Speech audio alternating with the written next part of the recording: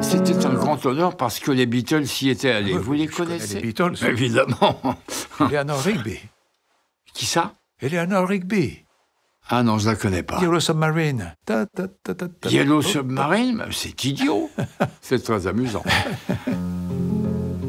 si vous démissionnez, ce sera pris comme un véritable affront. Votre façon de vivre est un affront. Vos chaussures sont un affront.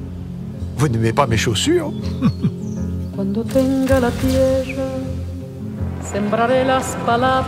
Vous n'y croyez plus que mi Nous ne faisons plus partie intégrante de ce monde.